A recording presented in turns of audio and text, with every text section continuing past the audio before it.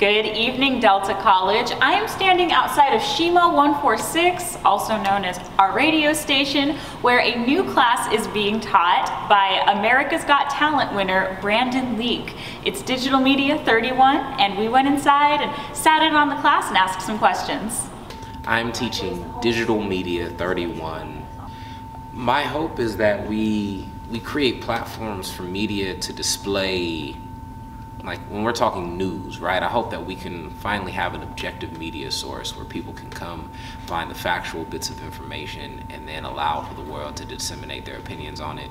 And then also create people who are um, moderate and understanding enough to be able to look at the world um, with grace, with love, and with a sense of accountability to understand all sides of the coin.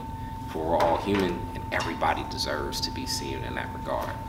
From both the big screen and making sure that everybody has a voice and that everybody gets the chance to be champion to, you know, the, the homeschool TVs that we got around campus.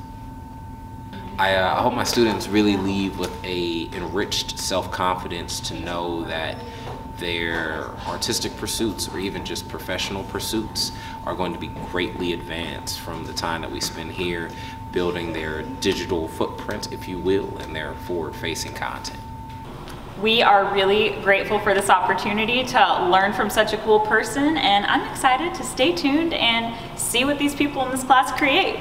Thank you for joining me tonight. For more information about how to enroll, visit deltacollege.edu.